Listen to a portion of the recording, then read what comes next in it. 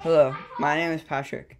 In the past, I have been working on many projects, one of them being Spider Man web shooters that you can actually swing on.